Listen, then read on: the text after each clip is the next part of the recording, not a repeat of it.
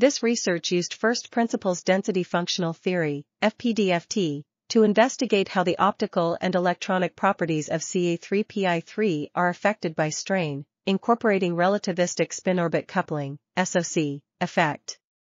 The planar Ca3PI3 molecule has a direct bandgap of 1.582 eV at its G, gamma, point, but with SOC effect included, the bandgap decreases to 1.329 eV.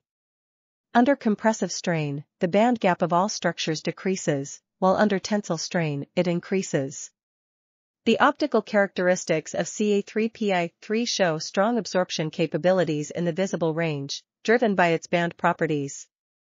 The photon energy spectrum displays a red shift, blue shift, in the absorption coefficient and dielectric function with increasing amounts of compressive, tensile, strain, which has valuable implications for its potential use in solar cells and optoelectronic devices.